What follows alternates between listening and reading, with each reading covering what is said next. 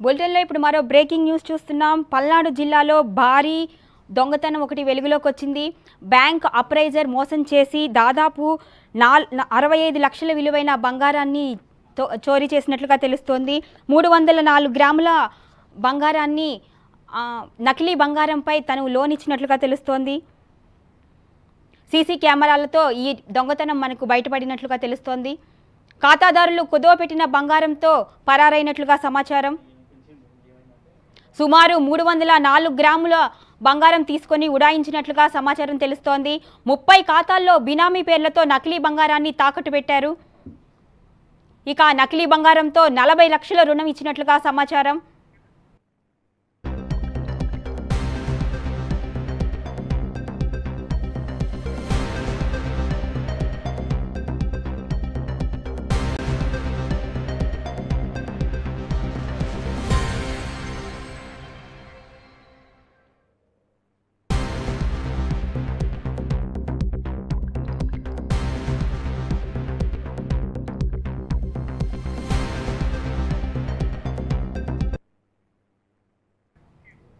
Edlapadu union bank మోసంపై మరింత సమాచారాన్ని మా ప్రతినిధి అనిల్ అందిస్తారు. అనిల్ చెప్పండి.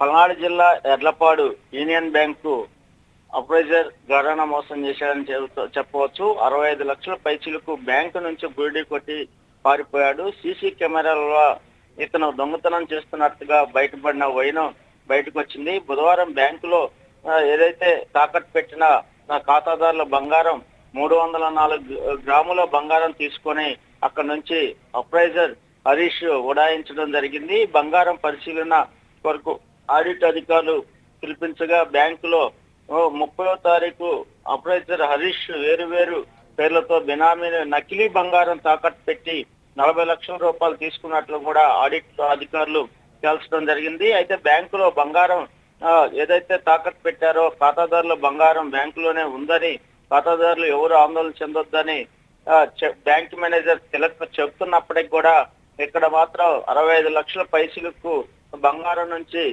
బంగారం బ్యాంక్ నుంచి అతను బుడ్డి కొట్టి తీసుకెళ్ళిన వైనం బయటకు వస్తుంది. దీనిపైన ఇప్పటికే బ్యాంక్ దగ్గరికి భారీగా ఖాతాదారులు చేరుకొని ఆందోళన చేస్తున్నారు.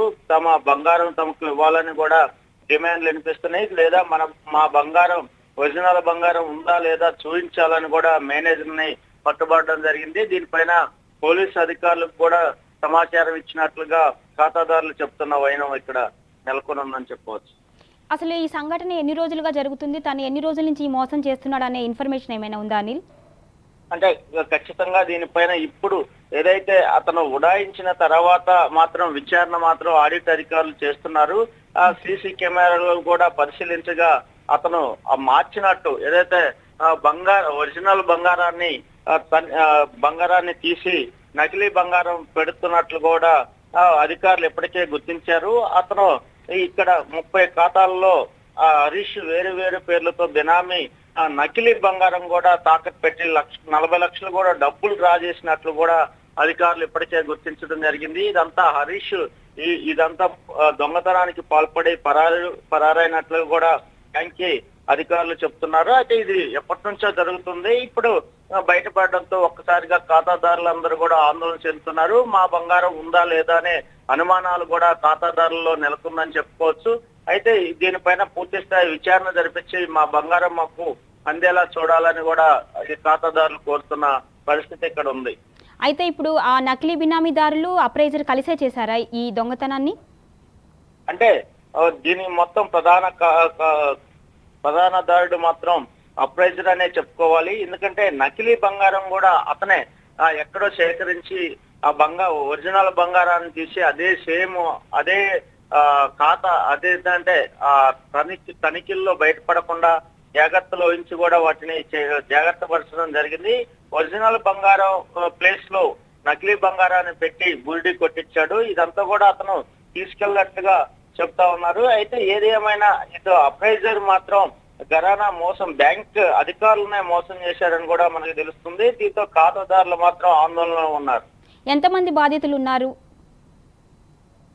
ఇంకా ఇప్పటికే అధికారులు మాత్రం చెప్తా ఉన్నారు. ఇప్పటికే ముప్పై ముప్పై మంది అక్కడికి అక్కడ చేరుకోవడం జరిగింది. ముప్పై మందితో పాటు ఇంకా చాలా మంది ఏదైతే బా- బ్యాంకులో బంగారం తనఖా పెట్టారో వాళ్ళందరూ కూడా ఇప్పటికీ బ్యాంక్ దగ్గరికి చేరుకునే అవకాశాలు ఉన్నాయి. అసలు ఎంతమంది మంది ఎంతమంది మంది ఖాతాలో అదే ఏదైతే తాకట్టు పెట్టారో బంగారం ఒరిజినల్ బంగారాన్ని మార్చి నకిలీ బంగారం పెట్టారనేది ఇప్పుడే అధికారులు విచారణ జరుగుతుంది. అసలు ఎంతమంది ఖాతాదారులు ఉన్నారు?